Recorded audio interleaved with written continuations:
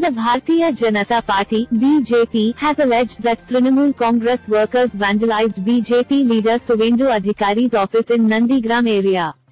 The BJP has demanded the arrest of persons behind the incident.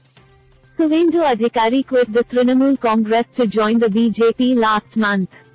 We protest against an incident caused by TMC Harmad cadres at Nandigram. We want to say them what they are doing these things by using muscle power. Today's administration is with you that's why you are doing so, BJP leader Kanishka Panda was quoted as saying by Ani. He said, We told the administration if they won't take action and won't arrest accused persons then the administration will be responsible for the incidents which will happen future. I am giving the challenge that our fight against this fight will be continued.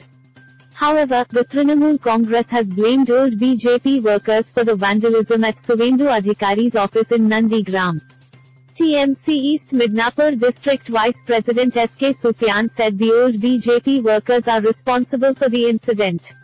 They always lie and they make habit of lying. They taught TMC flag and Mamta Banerjee's picture was burnt.